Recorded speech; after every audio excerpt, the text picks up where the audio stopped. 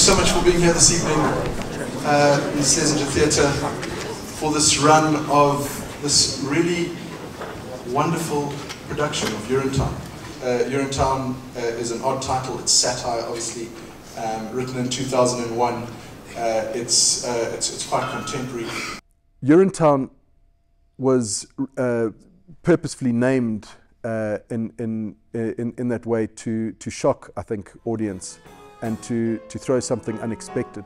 So the audience who came here came knowing that they were in for a surprise. I don't think that they were ready for just quite how entertaining uh, and clever the musical was. Welcome to Urinetown, the place, of course, the musical. Urinetown, the place as well. It's a place you'll hear people referring to a lot throughout the show. The basic premise was the privatization of uh, state-owned uh, amenities. Excuse me, sir, but could you please tell me the way to the private company that controls these public bathrooms? You mean Urine Good Company? That's the one! Uh, they used the, the public toilet as a, as a sort of metaphor for privatization of, of, of public uh, uh, utilities.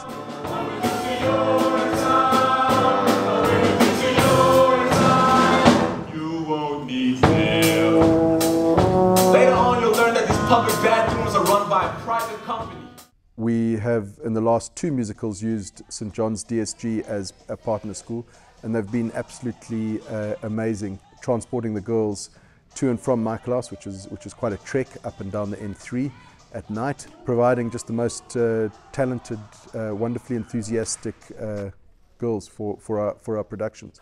Um, young women who, who give absolutely everything, and they, they're really prepared to, um, to risk themselves in front of the boys, and they, they're very um, grounded, um, uh, earthy people. It's, it's, a, it's a lovely ethos uh, at St John.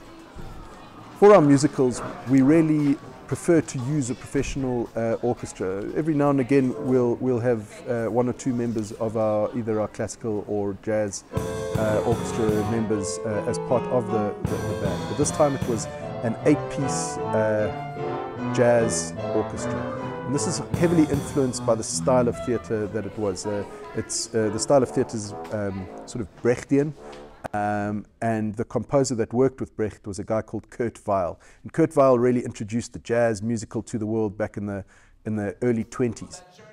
A small jazz orchestra that can play a variety of, of sounds to accompany um, an upbeat uh, so, sort of musical feel.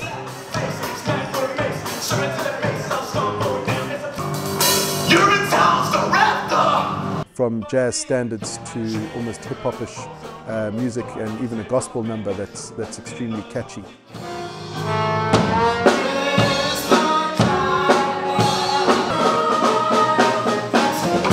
The performers in the play uh, really owned the production and I think that's where a lot of audience members uh, were caught off guard with how, how the, the performers were able to handle the content, to own the content and to really uh, show that uh, through the performances, uh, giving, giving all they had uh, to, to portray their characters and, and the grander story.